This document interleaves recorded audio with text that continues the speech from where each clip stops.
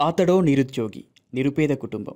కూలి చేసుకొని బ్రతుకును వెళ్ళదీస్తున్నాడు అది కూడా రెక్కాడితే డొక్కాడని పరిస్థితి. అందులో అతను వికలాంగుడు. రాజన్న సిరిసిల్ల జిల్లా రుద్రంగి లక్ష్మీనరసింహస్వామి వారి దర్శనానికి వెళ్ళాడు.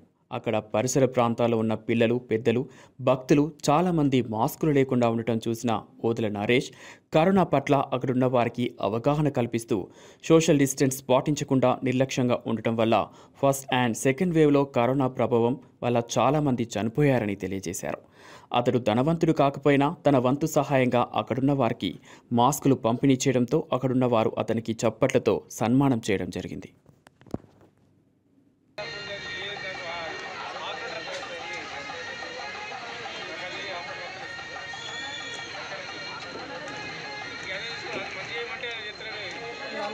మాస్క్ మాస్కులు ఎప్పటికప్పుడు మాస్కులు పెట్టుకోవాలి.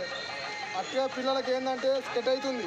ఖచ్చితంగా మీరు మాస్క్ పెట్టుకొని బయటకు వెళ్ళాలి బయటకు వెళ్ళేటప్పుడు ఖచ్చితంగా మాస్క్ లేని ఎట్టి పరిస్థితుల్లో మీరు పెట్టుకోవాలి. ఖచ్చితంగా మాస్క్ పెట్టుకోవాలి. మాస్క్ లేకపోతే ప్రమాదం ఉంది. కరోనా పోలేదు. కరోనా ఇంకా పోలేదు కాబట్టి ఖచ్చితంగా మీరు మాస్కులు పెట్టుకోవాలి. ఓకేనా బిడ్డ?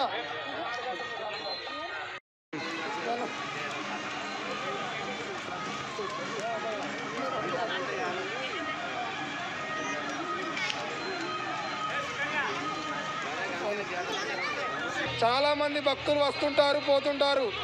కానీ ప్రతి ఒక్కరూ మాస్క్ పెట్టుకొని సోషల్ డిస్టెన్స్ పాటించి సామాజిక దూరం పాటించాలని నేను కోరుకుంటున్నాను.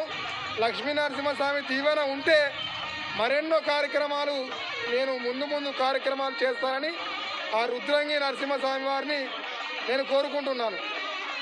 అని ఈ లక్ష్మీ నరసింహస్వామి టెంపుల్లో పిల్లలకు చెప్పడం జరిగింది. అంతేకాకుండా first wave second wave third వేలో కూడా చాలామంది చనిపోయారు. కాబట్టి అవగాహన కల్పించడం కోసం నా వంతుగా ఈరోజు లక్ష్మీనరసింహస్వామి దేవస్థానంలో మాస్కులు పంపిణీ చేయడం జరిగింది. లక్ష్మీనరసింహస్వామి దేవస్థానికి దేవస్థానానికి